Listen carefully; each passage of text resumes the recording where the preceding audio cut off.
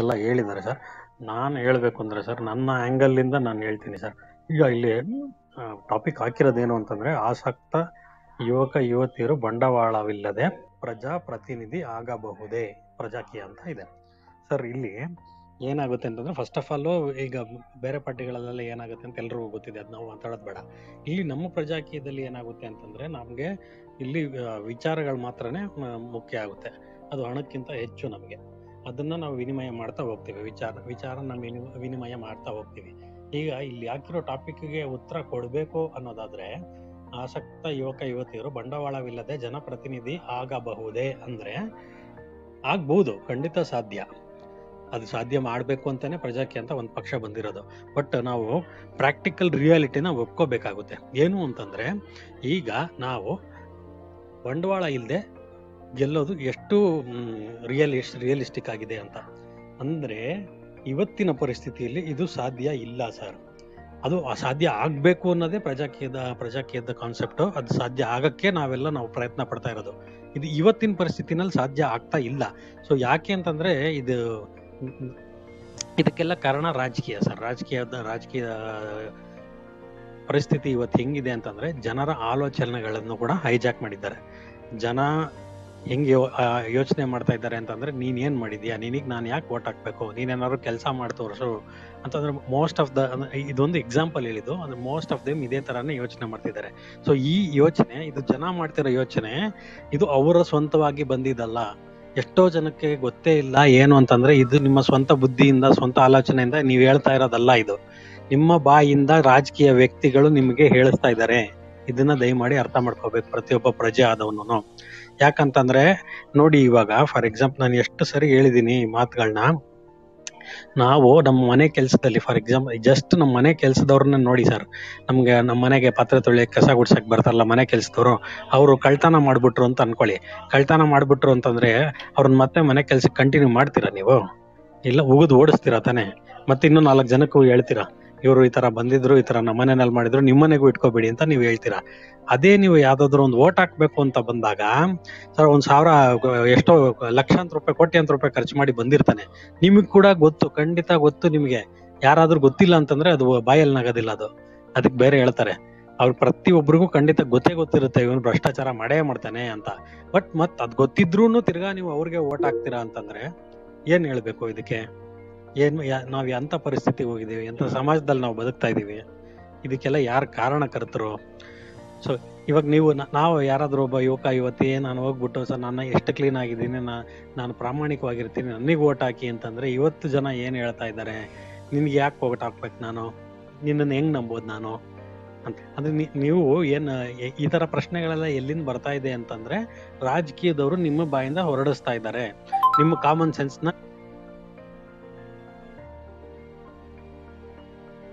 ನೀವು ಯೂಸ್ ಮಾಡ್ತಾ ಇಲ್ಲ ಪ್ರಜೆಗಳು, ನೀವು ಅಂತ ಹೇಳೋದ್ಕಿಂತ ನಾವು, ನಾನು ನಾನು ಸೇರಿಕೊಂಡೆ, ನನ್ನನ್ನು ಸೇರಿಸ್ಕೊಂಡೆ. ಇಲ್ಲಿ ನಾನು, ನೀನು ಅನ್ನೋ ತಪ್ಪಾಗುತ್ತೆ. ಯಾಕಂದ್ರೆ ಪ್ರಜೆಗಳು ಅಂತಂದ್ರೆ, ಮತದಾರರು ಅಂತಂದ್ರೆ ಎಲ್ಲರೂ ಆಗ್ತೀವಿ ಅದರ ನಾನು ಸೇರ್ಕೊಂಡಿರ್ತೀನಿ. ನನ್ನನ್ನು ಸೇರಿಸ್ಕೊಂಡು ನಾನು ಈ ತರ ಪ್ರಶ್ನೆಗಳನ್ನ ಕೇಳಿದೀನಿ ಮೊದಲು. ಇಲ್ಲ ಅಂತ ಏನೂ ಇಲ್ಲ. ಯಾಕಂತಂದ್ರೆ ನಮ್ಗೆ ಪ್ರಜಾಕೀಯ ಅಂತ ಒಂದು ಪಕ್ಷ ಬರೋದಕ್ಕೆ ಮುಂಚೆ ನಾವು ಎಲ್ಲ ಹಿಂಗೇನೆ ಆಲೋಚನೆ ಮಾಡ್ತಾ ಇದ್ದಿದ್ದು. ಇವಾಗ ಇವಾಗ ನಮ್ಗೆ ಪ್ರಜಾಕೀಯ ಸೇರಿದ ಮೇಲೆ ನಾವೆಲ್ಲ ಮೇಧಾವಿಗಳಾಗ್ಬಿಟ್ಟಿದ್ದೀವಿ ದೊಡ್ಡ ದೊಡ್ಡ ವಿಷಯ ತಿಳ್ಕೊಂಡ್ಬಿಟ್ಟಿದೀವಿ ದೊಡ್ಡ ಮನುಷ್ಯರಾಗ್ಬಿಟ್ಟಿದೀವಿ ಅಂತ ಅಲ್ಲವೇ ಅಲ್ಲ. ನಮಗೆ ರಿಯಾಲಿಟಿನ ಅರ್ಥ ಮಾಡಿಸಿದೆ ಪ್ರಜಾಕೀಯ. ಏನು ನಮ್ಮ ಸ್ವಂತ ಆಲೋಚನೆ ಅಂತಂದ್ರೆ ಏನು? ಹೆಂಗ್ ಆಲೋಚನೆ ಮಾಡಬೇಕು? ಯಾವ ತರ ಆಲೋಚನೆ ಮಾಡಬೇಕು?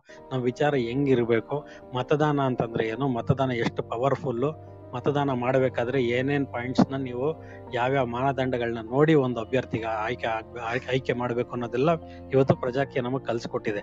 ಸೊ ನಾನು ಏನು ಕೇಳ್ತಾ ಇದ್ದೀನಿ, ಇಷ್ಟೆಲ್ಲ ಏನು ಕೇಳ್ತಾ ಇದ್ದೀನಿ, ಇದು ಇವತ್ತಿನ ಸಿಚುವೇಶನ್ ಅಲ್ಲಿ ಇದು ತುಂಬಾ ಕಷ್ಟ ಸಾಧ್ಯ ಯಾಕೆ ಅಂತಂದ್ರೆ ಜನಗಳು ಆಲೋಚನೆ ಹೆಂಗಿದೆ. ಸೊ ನಮ್ಮಲ್ಲಿ ನಮಗೆ ಪ್ರಜಾಕೀಯ ಬೆಂಬಲಿಗರಾಗಿ ನಮ್ಮದು ಜವಾಬ್ದಾರಿ ಜಾಸ್ತಿ ಇದೆ. ಈ ವಿಚಾರಗಳನ್ನ ರಾಜ್ಯಾದ್ಯಂತ ನಾವು ಹರಡಿಸ್ಬೇಕು. ಪ್ರತಿ ಒಬ್ಬರಿಗೂ ಅವರ ಓಟಿನ ಬೆಲೆ ಏನು ಅಂತ ತಿಳುವಳಿಕೆ ಮಾಡಿಕೊಡ್ಬೇಕು. ಇದು ಅವರಾಗ ಅವರೇ ಅರ್ಥಕೋಬೇಕು ಯಾರೋ ಒಬ್ಬ ಹೇಳಿ ಫೋರ್ಸ್ ಮಾಡಿ ಮಾಡೋದಲ್ಲ. ಇಲ್ಲಿ ಮೊನ್ನೆನೋ ಸ್ವಲ್ಪ ದಿವಸಕ್ಕೆ ಮುಂಚೆ ಯಾರೋ ಒಬ್ಬರು ಬಂದು ಹೇಳ್ತಾ ಇದ್ರು, ಸರ್, ನಾವು ರಾತ್ರಿ ಎಲ್ಲ ಪ್ರಜಾಕೀಯ ವಿಷಯ ಹೇಳ್ಬಿಟ್ಟಿರ್ತೀವಿ ಸರ್ ಒಪ್ಕೊಂಡ್ಬಿಟ್ಟಿರ್ತಾರೆ ಸರ್. ಬೆಳಗಾಗ್ತಿದ್ದಂಗೆ ಯಾರಾದರೂ ಕರ್ಕೊಂಡು ಹೋಗ್ಬಿಡ್ತಾರೆ ಸರ್ ಅವ್ರಿಗೆ. ಮೈಂಡ್ ಹಾಳು ಮಾಡಿ ಕರ್ಕೊಂಡು ಹೋಗ್ಬಿಡ್ತಾರೆ ಸರ್. ಇದು ಎಷ್ಟು ಹಾಸ್ಯಾಸ್ಪದ ಅಂತಂದರೆ, ಸರ್, ನಾನು ಒಂದು ವಿಚಾರನ ಒಪ್ಪಿ ಬಂದ ಮೇಲೆ ಈ ನನ್ನನ್ನು ಹೆಂಗ್ ಕರ್ಕೊಂಡು ಹೋಗ್ಬಿಡ್ತಾರೆ ಅವರು? ಹೆಂಗ್ ಅಂದ್ರೆ ನಿಮ್ಗೆ ನಿಮ್ಮ ನಿಮ್ಮ ಮೈಂಡೇ ನಿಮ್ಗೆ ಸ್ಥಿರವಾಗಿಲ್ವಲ್ಲ, ನಿಮ್ಮ ನಿರ್ಧಾರಗಳೇ ನಿಮಗೆ ಸ್ಥಿರವಾಗಿಲ್ವಲ್ಲ, ಏನಕ್ಕೆ ನೀವು ಬಂದಿದ್ದೀರಾ, ಇಲ್ಲಿ ಏನು ಪ್ರಜಾಕೀಯ ವಿಚಾರ ಏನಕ್ಕೆ ಒಪ್ಕೊಂಡಿದ್ದೀರಾ ಅನ್ನೋದೇ ನಿಮಗೆ ಗೊತ್ತಿಲ್ಲ ಆದ್ಮೇಲೆ ಹಂಗೇನೆ ಆಗೋದು ಮತ್ತೆ. ನಿಮ್ಗೆ ಫಸ್ಟ್ ಆಫ್ ಆಲ್ ನಿಮ್ಗೆ ಏನಕ್ಕೆ ಏನು ಬುಡಾನೆ ನೀವು ಹೊಡೆದಿಲ್ಲ ಅಲ್ಲಿ. ಮೇಲಗಡೆ ಇರೋ ಸುಮ್ಮನೆ ಮೇಲಗಡೆ ಅದನ್ನ ಕ್ಲೀನ್ ಮಾಡ್ಬಿಟ್ಟು ಪ್ರಜಾಕ್ಕೆ ಬಂದ್ಬಿಟ್ರು ಬಂದ್ಬಿಟ್ರು ಅಂತಂದ್ರೆ, ಸರ್ ಇಲ್ಲಿ ಯಾರನ್ನು ಪ್ರಜಾಕ್ಕೆ ಕರ್ಕೊಂಡು ಬರೋದಾಗ್ಲಿ, ಜನ ಹೆಚ್ಚಿಗೆ ಮಾಡೋದಾಗ್ಲಿ, ಜನಸಂಖ್ಯೆ ಜಾಸ್ತಿ ಮಾಡೋದಾಗ್ಲಿ ಬೇಕಾಗೇ ಇಲ್ಲ ಸರ್ ನಮ್ಗೆ. ಈಗ ಪ್ರತಿಯೊಬ್ಬರಿಗೂ ಇದು ಪ್ರಜಾಕೀಯ ಅಂತಂದ್ರೆ ಏನು? ಪ್ರಜಾಕೀಯ ಅಂತಂದ್ರೆ ಸಂವಿಧಾನ. ಪ್ರಜಾಕೀಯ ಸಂವಿಧಾನದಲ್ಲಿ ಏನ್ ಹೇಳ್ತೋ ಅದನ್ನೇ ಪ್ರಜಾಕೀಯದಲ್ಲಿ ಹೇಳೋ ಸಂವಿಧಾನದಲ್ಲಿ ಏನೇನ್ ಬರ್ದಿದ್ಯೋ ಹಂಗೆ ನಡಿಬೇಕು. ಪ್ರಜಾಪ್ರಭುತ್ವದಲ್ಲಿ ಹಂಗ್ ನಡಿಬೇಕು. ಹಂಗ್ ನಡಿಬೇಕು ಅಂತ ಯಾರ್ಯಾರಿಗೆ ಅನ್ಸುತ್ತೋ ಅವರೆಲ್ಲ ಬಂದು ಪ್ರಜಾಕೀಯಕ್ಕೆ ಅವ್ರಾಗ ಅವರು ಬಂದು ಜಾಯ್ನ್ ಆಗ್ಬೇಕು. ಸೊ ಅವ್ರಾಗ ಅವರು ಬಂದು ಜಾಯ್ನ್ ಆಗ್ಬೇಕು ಅಂತಂದ್ರೆ ಅವರಿಗೆ ರಿಯಲೈಸೇಷನ್ ಆಗ್ಬೇಕು, ಮನವರಿಕೆ ಆಗ್ಬೇಕು. ಹೌದು, ಇಲ್ಲಿ ಏನಕ್ಕೆ ನಾವು ಪ್ರಜಾಕೀಯಕ್ಕೆ ಸಪೋರ್ಟ್ ಮಾಡಬೇಕು ಅಂತ.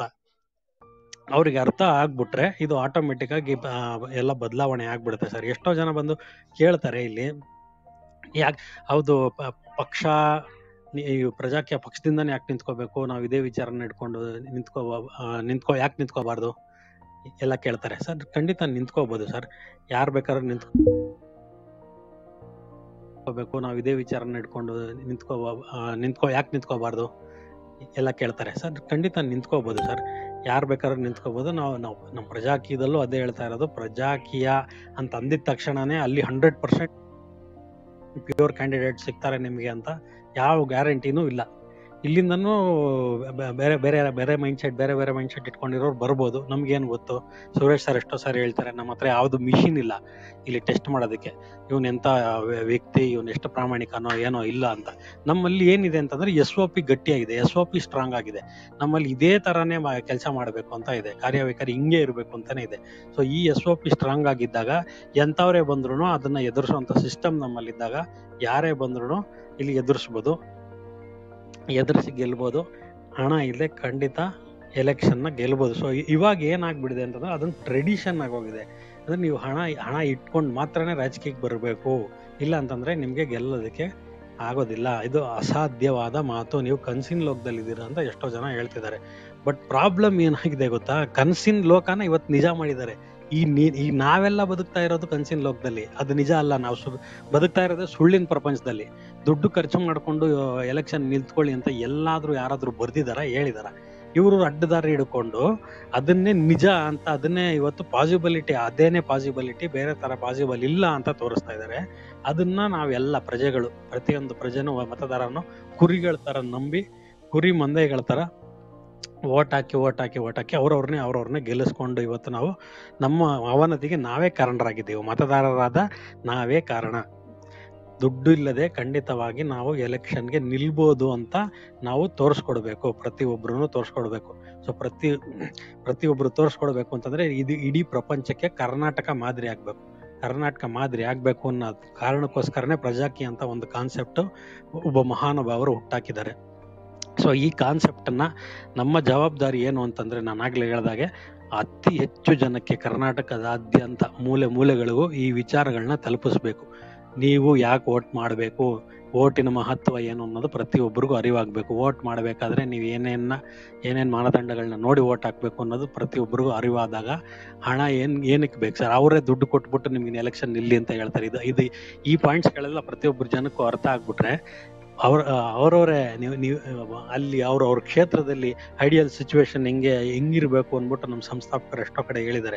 ಹೆಂಗಿರ್ಬೇಕು ಅಂತಂದ್ರೆ, ನಿಮ್ಮ ಯಾವುದಾದ್ರೂ ಒಂದು ವಿಧಾನಸಭಾ ಕ್ಷೇತ್ರ ಅಂತ ತಗೊಳ್ಳಿ ಅಥವಾ ಒಂದು ವಾರ್ಡ್ ಎಲೆಕ್ಷನ್ ಅಂತಲೇ ತಗೊಳ್ಳಿ. ಆ ವಾರ್ಡ್ ಅಲ್ಲಿ ಇರ್ತಕ್ಕಂಥ ಜನನೇ ಅವ್ರಾಗ ಅವರೇನೆ ಒಬ್ಬ ಈ- ಈ ವ್ಯಕ್ತಿ ನಮಗೆ ನಮ್ಮ ಜನಪ್ರತಿನಿಧಿ ಆದ್ರೆ ಸೂಕ್ತ ಅಂದ್ಬಿಟ್ಟು ಅವರೇ ಆಯ್ಸಿ, ಅವರೇ ಕಳಿಸ್ತಾರೆ. ಅವ್ರು ಕಳಿಸೋಂಥವ್ರನ್ನ ಪ್ರಜಾಕ್ಕೆ ಟಿಕೆಟ್ ಕೊಡತ್ತೆ. ಅವಾಗ ಆಟೋಮೆಟಿಕ್ ಆಗಿ ಅಂದ್ರೆ ನೀವು ಎಲೆಕ್ಷನ್ ಮುಂಚೆನೆ ಗೆದ್ಬಿಟ್ಟ ಅಭ್ಯರ್ಥಿ. ನೀವು ಯಾರು ಬೇಕಾಗೇ ಇಲ್ಲ. ಯಾಕಂದ್ರೆ ಜನನೇ ಆಯ್ಸಿ ಕಳ್ಸಿರೋದು. ಇವನಿಗೆ ಬಿ ಫಾರ್ಮ್ ಕೊಡಿ ಅಂದ್ಬಿಟ್ಟು ಜನ ಹೇಳಿ ಕಳ್ಸಿರ್ತಾರೆ. ಇವಾಗ ಇಲ್ಲಿ ದುಡ್ಡಿನ ಪ್ರಶ್ನೆ ಎಲ್ಲಿಂದ ಬಂತು. ಈ ತರ ಎಲ್ಲ ವಿಚಾರವಂತರಾಗ್ಬಿಟ್ರೆ, ಜನ ವಿಚಾರವಂತರಾಗ್ಬಿಟ್ರೆ ಇವಾಗ ನೀವು ಪ್ರಚಾರ ಮಾಡಕ್ಕೂ ದುಡ್ಡು ಬೇಕಾಗಿಲ್ವಲ್ಲ? ಪ್ರಚಾರ, ಪ್ರಚಾರನೇ ಮಾಡ್ಬೇಕಾಗಿಲ್ವಲ್ಲ? ಯಾಕೆಂತಂದ್ರೆ ಜನ ಎಲ್ಲ ಒಮ್ಮತದಿಂದ ನಿರ್ಧಾರ ತಗೊಂಡು ಇಂಥ ಒಬ್ಬ ಅಭ್ಯರ್ಥಿ ನಮಗೆ ಜನಪ್ರತಿನಿಧಿ ಆದ್ರೆ ಸೂಕ್ತ ಅಂದ್ಬಿಟ್ಟು ಅವ್ರು ನಿರ್ಧಾರ ಮಾಡಿ, ಅವ್ರು ಈ ಅಭ್ಯರ್ಥಿನ ಕಳ್ಸಿಕೊಟ್ಟಿರ್ತಾರೆ. ನೀವು ಪಕ್ಷಕ್ಕೆ, ನೀವು ಬಿ ಫಾರ್ಮ್ ಕೊಡಿ, ನೀವು ಈ ಪಕ್ಷಕ್ಕೆ, ಈ ಅಭ್ಯರ್ಥಿಗೆ. ಇವನು ನಮ್ಮ ಜನಪ್ರತಿನಿಧಿ ಆದ್ರೆ ಚೆನ್ನಾಗಿರುತ್ತೆ ಅಂತ. ಐಡಿಯಲ್ ಸಿನಾರಿಯೋ ಹಿಂಗ ಆಗ್ಬೇಕಲ್ವಾ ಇದು ಪ್ರಜಾಪ್ರಭುತ್ವ ಅಲ್ವಾ? ಇದ ಇದ ಇದಲ್ವಾ ಪ್ರಜಾ ಪ್ರ- ಪ್ರ- ಪ್ರಜಾಕೀಯ ಅಂತಂದ್ರೆ ಇದು, ಹಿಂಗಾಗ್ಬೇಕು ಇದು. ಸೊ ಇಲ್ಲಿ ದುಡ್ಡಿನ ಪ್ರಶ್ನೆನೇ ಬರಲ್ಲಲ್ಲ ಅವಾಗ. ನಿಮಗೆ ಪ್ರಚಾರನೂ ಮಾಡೋಂಥ ಅವಶ್ಯಕತೆನೇ ಇಲ್ಲ. ಯಾಕಂದ್ರೆ ನಿಮಗೆ ಪ್ರತಿಯೊಬ್ಬರೂ ಗೊತ್ತು. ಜನನೇ ನಿಮ್ಮನ್ನ ಸೆಲೆಕ್ಟ್ ಮಾಡಿ ಕಳ್ಸಿದಾರೆ ಅಂದಾಗ ನಿಮ್ಮ ಹೆಸರು, ನಿಮ್ಮ ಹಿನ್ನೆಲೆ, ನಿಮ್ಮ ತಡ, ಬುಡ ಪ್ರತಿಯೊಂದು ಗೊತ್ತಿರುತ್ತೆ. ನಿಮ್ಗೆ ಗೊತ್ತಿದ್ದೇನೆ ತಾನೇ ಕಳ್ಸೋ ಜನ. ಇಲ್ಲ ಅಂತಂದ್ರೆ ನಿಮ್ಮನ್ನ ಏನಕ್ಕೆ ಜನ ಕಳಿಸ್ತಾರೆ? ನಿಮ್ಗೆ ಗೊತ್ತಿಲ್ಲದೆ ಅಭ್ಯರ್ಥಿನ ಏನಕ್ಕೆ ಜನ ಕಳಿಸ್ತಾರೆ? ಈಗ ನಾವು ಎಷ್ಟೋ ಜ, ಇವತ್ತು, ಇವತ್ತಿನವರೆಗೂ ನಡೆದಿರೋ ಎಲ್ಲ ಎಲೆಕ್ಷನ್ ಅಲ್ಲಿ ನಾವು ಎಷ್ಟೋ ಜನಕ್ಕೆ ವೋಟ್ ಮಾಡಿದೀವಿ ನಾನು ಎಷ್ಟೋ ಜನಕ್ಕೆ ವೋಟ್ ಮಾಡಿದ್ದೀನಿ ಸರ್. ನನಗೆ ಗೊತ್ತೇ ಇಲ್ಲ ಅವ್ನು ಯಾರು ಆ ಅಭ್ಯರ್ಥಿ ಯಾರು ಅನ್ನೋದೇ ಗೊತ್ತಿಲ್ಲ. ಅವ್ರು ನಿಜವಾಗ್ಲೂ ಇಲ್ಲೇ ಇದ್ದಾರಾ? ಅವ್ರ ಸಮ, ನಮ್ಮ ಕ್ಷೇತ್ರದ ಸಮಸ್ಯೆ ಅವ್ರಿಗೆ ಗೊತ್ತಾ? ಸಾಲ್ವ್ ಮಾಡ್ತಾರ? ಅವ್ರು ಯಾರು? ನಮ್ಮ ಕನ್ನಡದವ್ರಾ ಇಲ್ವಾ? ಅದೂ ನಮಗೆ ಗೊತ್ತಿಲ್ಲ.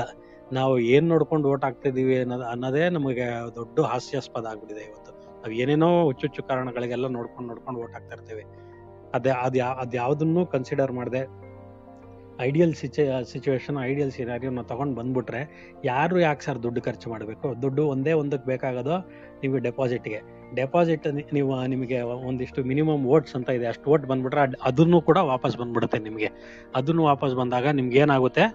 ಝೀರೋ ಒಂದೇ ಒಂದು ರೂಪಾಯಿ ಎಲ್ಲ ಒಂದು ಪೈಸಾನೂ ಬೇಕಾಗಿಲ್ಲ ಇಲ್ಲಿ. ಒಂದು ರೂಪಾಯಿನೂ ಬೇಕಾಗಿಲ್ಲ. ಅಂತ ಐಡಿಯಲ್ ಸಿನಾರಿಯೋ ಬರಬೇಕು. ಬಟ್ ಇವತ್ತಿನ ಸಿಚುವೇಶನ್ ಆ ಥರ ಇಲ್ಲ.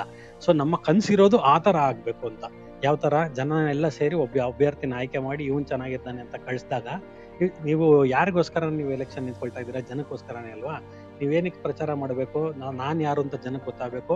ನಾನು ಯಾರು ಜನಕ್ಕೆ ಗೊತ್ತಾದಾಗ ನನ್ನ ಕಾರ್ಯವೈಖರಿ ಹೇಗಿರುತ್ತೆ ಅಂತ ಜನಕ್ಕೆ ಗೊತ್ತಾದಾಗ ಜನ ಓಟ್ ಹಾಕ್ತಾರೆ ಅಂತಲ್ವಾ? ಜನನೇ ನಿಮ್ಮನ್ನ ಆಯ್ಕೆ ಮಾಡ್ಬಿಟ್ಟು ನಿಮಗೆ ಬಿ ಫಾರ್ಮ್ ಕಳ್ದು, ಅಥವಾ ಕೊಡಿ ಅಂತ ಕಳಿಸಿದಾಗ ನೀವ್ ಏನಕ್ಕೆ ಸ್ವಾಮಿ ಹೋಗ್ಬಿಟ್ಟು ದುಡ್ಡು ಖರ್ಚು ಮಾಡ್ಕೊಂಡು ಪ್ರಚಾರ ಮಾಡ್ತೀರಾ? ಪ್ರಚಾರ ಮಾಡೋ ಅವಶ್ಯಕತೆನೇ ಇಲ್ವಲ್ಲ? ಆ ಥರ ಆಗ್ಬೇಕು. ಆ ಥರ ಆಗ್ಬೇಕು ಅನ್ನೋದಕ್ಕೆ ಪ್ರಜಾಕೀಯ ಇವತ್ತು ಅಂತರ ಅಂತ ಒಂದು ಕನಸನ್ನ ಕಟ್ಕೊಂಡಿದೆ. ಅಂತ ಕನಸನ್ನ ನನಸು ಮಾಡೋದಕ್ಕೆ ಪ್ರಜಾಕೀಯದ ಎಲ್ಲ ಬೆಂಬಲಿಗರು ಕೈ ಜೋಡಿಸ್ಬೇಕು. ಅವರ ಸರ್ವ ಪ್ರಯತ್ನವನ್ನು, ಶತ ಪ್ರಯತ್ನವನ್ನು ಈಗ ಆಲ್ರೆಡಿ ಮಾಡ್ತಾ ಇದ್ದಾರೆ. ಇದೇ ಇದೇ ಪ್ರಯತ್ನನ, ಇದೇ ಇದೇ ಎಫರ್ಟ್ಸ್ ಅನ್ನ ನಾವು ಆದಷ್ಟು ಹೆಚ್ಚು ಹೆಚ್ಚಿಗೆ ಹಾಕ್ತಾ ಹೋಗೋಣ. ಪ್ರತಿ ಕರ್ನಾಟಕದ ಮೂಲೆ ಮೂಲೆಯಲ್ಲೂ ವಿಚಾರನ ತಲುಪಿಸೋಣ. ಒಂದೇ ಒಂದು ರೂಪಾಯಿ ಇಲ್ಲದೆ ಪ್ರತಿ ಯಾರೇ ಒಬ್ಬ ಆಸಕ್ತ ಯುವಕ, ಯುವತಿನೂ ಇದು ಸಾಧ್ಯ ಎಲೆಕ್ಷನ್ ಸಾಧ್ಯ ಅಂತ ಇವತ್ತು ನಾವು ತೋರಿಸ್ಬೇಕಾಗಿದೆ ನಿರೂಪ ಪ್ರೂವ್ ಮಾಡಬೇಕಾಗಿದೆ.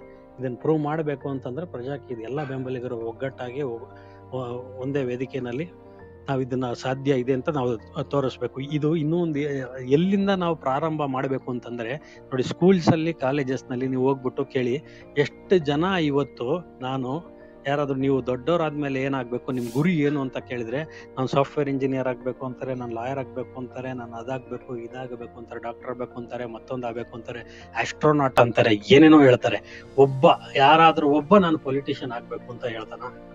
ಇವತ್ತು ನಾನು ಜನಪ್ರತಿನಿಧಿ ಆಗ್ಬೇಕು ಅಂತ ಯಾರಾದ್ರೂ ಹೇಳ್ತಾನ? ಸರ್, ನಾನು ಅಗ್ರಿಕಲ್ಚರಿಸ್ಟ್ ಆಗ್ಬೇಕು ಅಂತ ಯಾವನಾದ್ರೂ ಹೇಳ್ತಾನ?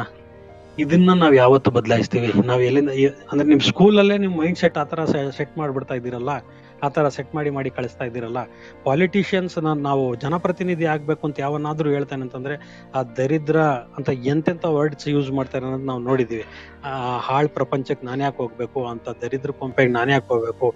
ಅಂದ್ರೆ ಇವತ್ತು ಜನಪ್ರತಿನಿಧಿ ಆಗೋದು ಅಂತಂದ್ರೆ ಯಾವ ಮಟ್ಟಿಗೆ ಆಗ್ಬಿಟ್ಟಿದೆ, ಎಷ್ಟು ಕೀಳು ಮಟ್ಟಕ್ಕೆ ಜನ ನೋಡ್ತಿದ್ದಾರೆ, ಯುವಕ, ಯುವತಿಯರು ಎಷ್ಟು ಮಟ್ಟಿಗೆ, ಎಷ್ಟು ಕೀಳು ಮಟ್ಟಕ್ಕೆ ನೋಡ್ತಿದ್ದಾರೆ ಅನ್ನೋದನ್ನ ನಾವು ಯೋಚನೆ ಮಾಡ್ಬೇಕಾಗುತ್ತೆ. ನಾವು ಅಲ್ಲಿಂದನೇ ನಾವು ಬದಲಾಯಿಸಬೇಕು.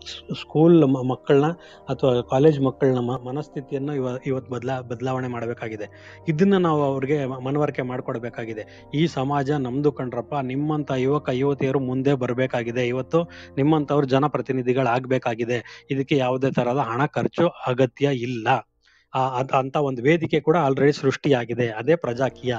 ಈ, ಇದನ್ನ ಇಂಥ ವಿಚಾರಗಳನ್ನೆಲ್ಲ ಇಲ್ಲಿ ಸ್ಕೂಲ್ಗಳಲ್ಲಾಗ್ಲಿ ಕಾಲೇಜ್ಗಳಲ್ಲಾಗ್ಲಿ ಮನವರಿಕೆ ಮಾಡ್ತಾ ಹೋಗ್ಬೇಕಾಗುತ್ತೆ. ಯಾಕಂತಂದ್ರೆ, ಇಂದಿನ ಯುವಕರೇ ನಾಳಿನ ಪ್ರಜೆಗಳು ಅಂತ ಹೇಳ್ತಾರೆ. ಸೊ ಸ್ಕೂಲಲ್ಲಿ ಕಾಲೇಜಸ್ ಅಲ್ಲಿ ನಾವು ಇಲ್ಲಿಂದಾನೆ, ತಳಮಟ್ಟದಿಂದಾನೇ ಪ್ರಾರಂಭ ಇಂಥ ವಿಚಾರ ವಿನಿಮಯಗಳು ಮಾಡ್ತಾ ಹೋದ್ರೆ ಇನ್ನು ಸಮಾಜಕ್ಕೆ ಉತ್ತಮವಾದ ಯುವಕ, ಯುವತಿಯರು ತುಂಬಾ ತುಂಬಾ ಜನ ಮುಂದೆ ಮುಂದೆ ಬರ್ತಾರೆ. ನಾವ್ ನಾವು ಕನ್ಸ್ ಕಟ್ಟಿರ್ದ, ನಾವ್ ಏನ್ ಕನ್ಸ್ ಕಟ್ಕೊಂಡಿದೀವಲ್ಲ ಪ್ರಜೆಗಳೇ ಆಯ್ಕೆ ಮಾಡಿ ಕಳಿಸ್ಬೇಕು ಇಂಥ ವ್ಯಕ್ತಿಗಳನ್ನ ಅಂತ ಅಂತ ಒಂದು ಸೀನಿಯರ್ ಆದಷ್ಟು ಬೇಗ ಬರ್ಲಿ ಅಂತ ಕೇಳ್ಕೊಂತ ನಾನು ಎರಡು ಮಾತು ಮುಗಿಸ್ತೀನಿ ಸರ್. ಏನಾದ್ರು ತಪ್ಪು ಮಾತಾಡಿದ್ದಲ್ಲಿ ದಯಮಾಡಿ ಕ್ಷಮಿಸಿ. Thank you